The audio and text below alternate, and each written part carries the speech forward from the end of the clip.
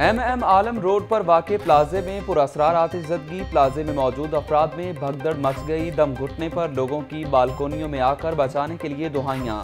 رسیوں سے نیچے اترنے کی کوشش میں ایک شخص گر کر جاں بحق سات زخمی ہسپتال منتقل۔ وزیر اعلیٰ پنجاب کا نوٹس، رپورٹ طلب۔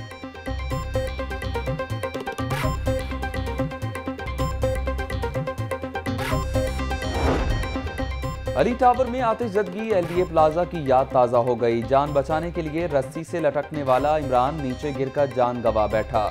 گرنے والے شخص کی فوٹیج لاہور نیوز کو موصول۔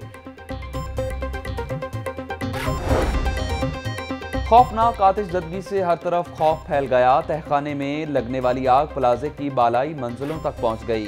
آتش زدگی کی طلا پر انتظامیہ کی دوڑیں لگ گئیں۔ سات گاڑیوں، ریسکیو اور فائر بریگیڈ عملے نے دو گھنٹے بعد آگ پر قابو پایا۔ پلازا شہباز شریف کے داماد علی عمران کا ہے، پلازے میں دفاتر ہیں، ہو سکتا ہے کوئی ریکارڈ جلانے کی سازش ہو۔ آگ کیوں اور کیسے لگی؟ معاملے کی مکمل تحقیقات کرائیں گے صوبائی وزیر اطلاعات فیاض الحسن چوہان۔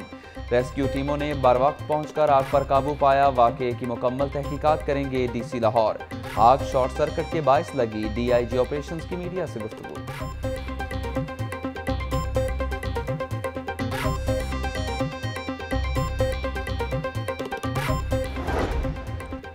علی ٹاور میں آتش زدگی حادثہ یا سازش، معاملہ مشکوک ہو گیا۔ جس فلور پر آگ لگی، وہاں علی ٹریڈنگ کمپنی کا دفتر موجود تھا۔ صاف پانی کمپنی اور علی ٹریڈ اینڈ کمپنی کے معاہدہ کا ریکارڈ اسی دفتر میں تھا۔ آتش زدگی سے صاف پانی اور پاور ڈیولپمنٹ کمپنی کا ریکارڈ جلنے کا خدشہ۔ پلازا مالک علی عمران صاف پانی کمپنیز اسکینڈل میں اشتہاری ہیں۔